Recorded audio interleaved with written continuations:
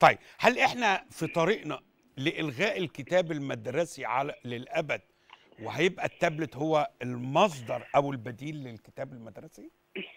التابلت ما هو إلا جهاز. هو الفكرة إنه يعني فكرة إن يبقى الكتاب هو المصدر الوحيد للمعرفة هي اللي اتلغت مش الكتاب الورقي. هي المعرفة موجودة أشكال وألوان. بس يعني معليك الكتاب كان بيكلفك 2 مليار جنيه في السنة يعني. لا أكتر من كده. كمان. كتب الكتب مكلفة جدا. بس إحنا مش ده الفكرة. يعني هو الاستراتيجية أو الفلسفة جاية من مصادر التعلم تنوعت. وإحنا صرفنا عشان نجيب لهم مش كتاب نجيب لهم ألف كتاب. ألف كتاب. ونديه لهم ببلاش. بس هم بيجوا في صورة رقمية. م. فالكتاب اللي هو بيتكلم عليه الورقي ده أقل شيء. ده ولا حاجة.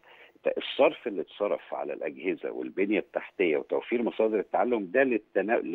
للاستزادة من العلم والمعرفة. فالدولة بتصرف مش بتوفر. بس لما نكون صرفنا كل ده و... و... وتأكدنا إنه كل طالب في المرحلة يستطيع الوصول إليه أصبح طباعة الكتب القديمة. اللي تمثل جزء يسير جدا من المعارف. وندفع فيها المليارات دي أصبح طبعا نوع من إهدار المال العام. صحيح. فكان كان لازم نختار بقى.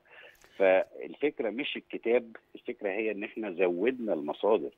بدل ما نطبع لهم ألف كتاب ورقي لا مديناه لهم رقمي.